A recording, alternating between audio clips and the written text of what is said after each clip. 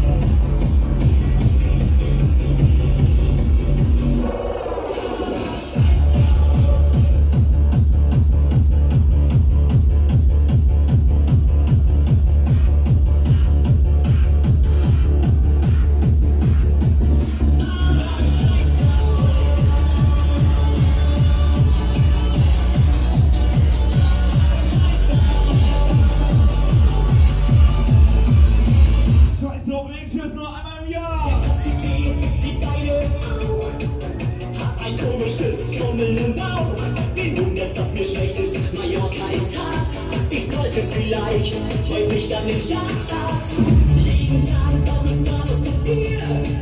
this guy makes me a the idea